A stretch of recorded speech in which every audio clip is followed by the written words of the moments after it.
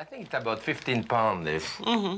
And I think it's a fresh one, although there are frozen ones on the market, There right? certainly are. And I think frozen ones can be are very good indeed if you get it from a reputable store. They should have remained frozen. What's terrible in the turkey is if it's frozen and defrosted and refrozen and then the breast gets kind of shreddy. But You have to go to a good store, I think. I think so. No.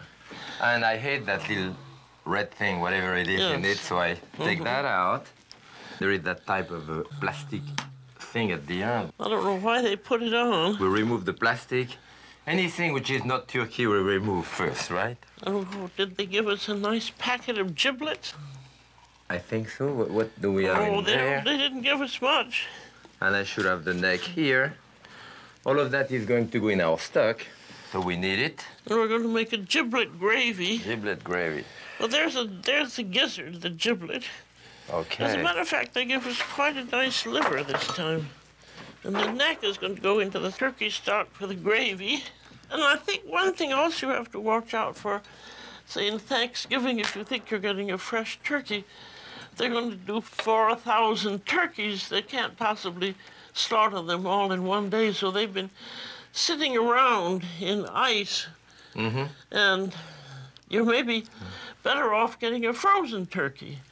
But if you get a frozen turkey, be sure to defrost it under refrigeration for like 48 hours. It does Oh, at take least, that long. yeah. yes. Well, what we're going to do is, rather than doing it just a plain roast, we're going to roast the breast separately and the leg thighs separately, and then sort of lean them against each other so it'll look like a whole turkey. But takes about half the time. Shall I start by You're taking out the leg? Yes. I'm raising it out to use it as a weight, you know, so that I can cut the skin. To a certain extent, that's No, all you have here, skin. just the skin. And you're cutting it up to this point. And at that point here, when I get up to the carcass, then I will have to take that We have what here. we call the oysters. That's so you can see that up. And there I finish against a bone also.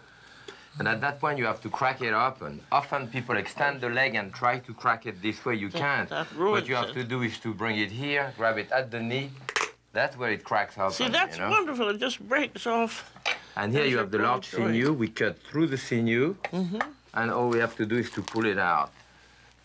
So that's it. On this side, the same way too. I cut the skin, And the just, oyster, And just feel that point, that oyster of meat up there. And crack it out. open, cut through the sinew, and pull out. So that's, That's great. pretty good. So this is, now we have our breast, right? Mm-hmm. We keep the wing on.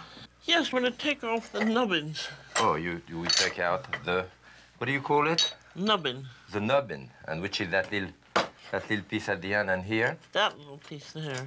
But everything goes into the stock. and the stock here, and that part. So this, now we're gonna cut the carcass. We're gonna cut the whole carcass here and there to give that for the stock. This way, There. And this is perfectly easy to do yourself, too. and this way here. This is our stock. Here is the breast of our turkey, maybe too much skin. I'll take a little piece out of it. Here. To take out the wishbone. Oh yes, you want the wishbone. You know, Okay, that part here, we put that underneath also. they call that wings akimbo. Oh, that's what they call? Well, that's what I call it. Oh, good. So here you can see that there is a triangle here and you can feel it, the wishbone here. So what you have to do is to cut on each side The reason for taking that off is that it makes carving much easier and neater. Yes. And then you try to pry it out with your finger. You don't have to get it out in one piece. You just get the No, you have to get it prong- out in you one can get piece. the two prongs out. Oh, you want it because you want a wish on it. Yes. See, We have to get it that's out for in the one piece. children in the audience. I broke it. Ah. we can put on it, but that's for your stock too.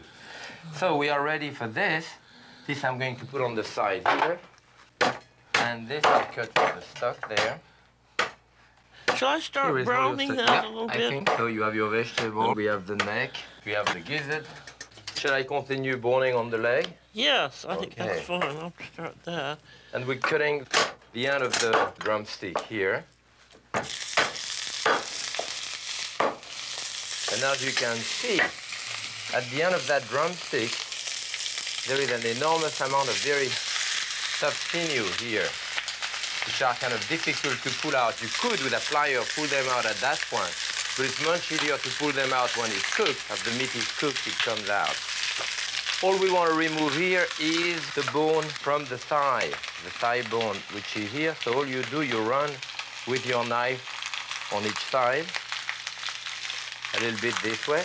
And all you have to do is to fry your finger underneath, put your knife underneath, and after scrape it. You scrape it up to the joint here, and then we want to cut through the joint. That's more stuff for the stock. Here you are. And the second one in the same way. And in the place of the thigh bone, we're going to put some of the stuffing. You could also put herbs, you could put chopped mushroom, you could do whatever you want to flavor it. So now we have those two legs which are ready to be stuffed and replaced together. How is the stock doing? And slowly, to brown these vegetables that are going into the stock. I have some carrots and onions and a little bit of celery. While the meat's browning, I'm going to brown the vegetables too.